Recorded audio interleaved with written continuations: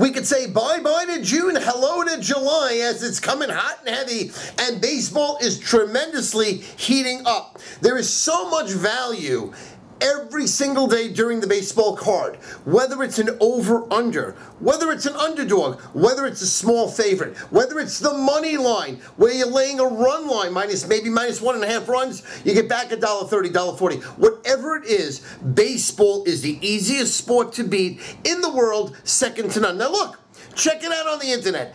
Ask the questions. What's the easiest sport to beat? Major League Baseball. And now that they have these new bets where you're only betting the first five innings of a game, the last four innings of a game, you really can take advantage of the odds maker, of the bookmaker, of your offshore sports book of Nevada and London. And listen, I am prepared to put all my time and energy to provide you with the best information money can buy in Major League Baseball. Right now, I have a best bet on the card. I absolutely love it, StuFeiner.com. Plus, the Godfather, Howie Finder, has a best bet right now up there at StuFeiner.com. Plus, every single day, I will give you a free winner right on my homepage. Do this right now. I have something special. I have something I'm stepping out on today, and it's on the free pick phone. A human lock, a game that I'm betting 100000 on, absolutely free on the free pick phone. 800 982 2211. We will have over $100,000 in action on this game.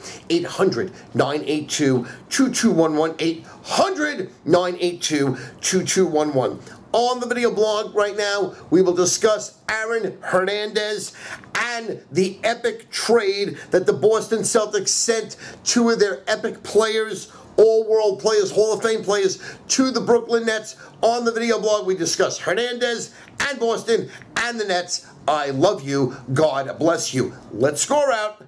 Let's rock and roll from me, Source Stu Feiner.